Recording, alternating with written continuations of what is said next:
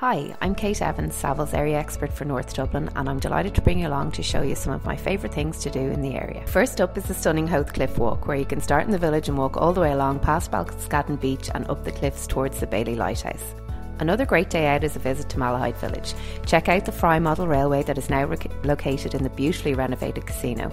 A short stroll brings you into the village itself with its wide array of shops, boutiques, restaurants, cafes, and bars, so there's something for everyone. Next up, pop over to Malahide Castle, where it's whether it's a walk along one of the many paths or a stroll through the fields, the 260 acre parkland is well worth a visit. You can visit the castle itself to check out its 800 year old history and explore the stunning walled gardens and butterfly house. And finally, we couldn't leave North Dublin without going for a swim in the sea. A visit to Low Rock for a dip is essential to round off your day out.